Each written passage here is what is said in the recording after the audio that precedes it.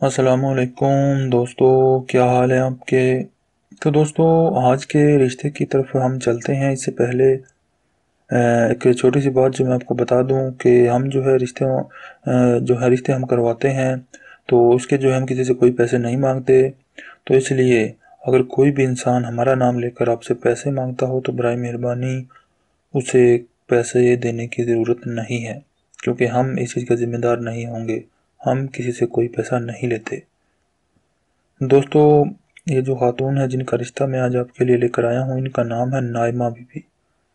तो नाइमा जो है, ये जो हमारी बहन है, इनकी उम्र है इकतीस साल।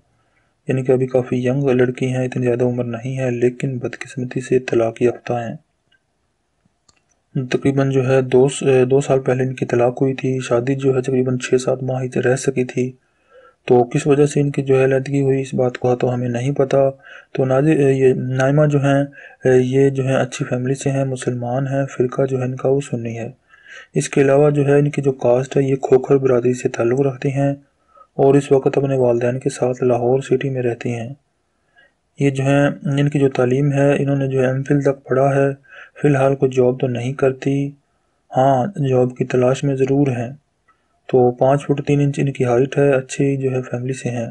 काफ़ी पढ़े लिखे घराने से इनका ताल्लुक़ है।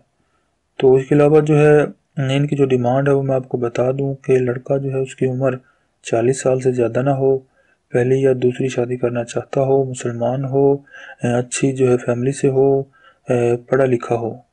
तो अगर जो है इनसे रबता करना चाहते हों शादी के लिए तो बर मेहरबानी अपनी तमाम तर तफसीत के साथ अपना व्हाट्सएप का नंबर वीडियो के नीचे कमेंट बॉक्स में लिख दे। बहुत जल्द उससे रबता कर लिया जाएगा।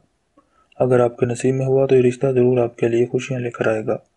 तो दोस्तों, इसी के साथ हमें इजाज़त दें। अल्लाह हाफिज़।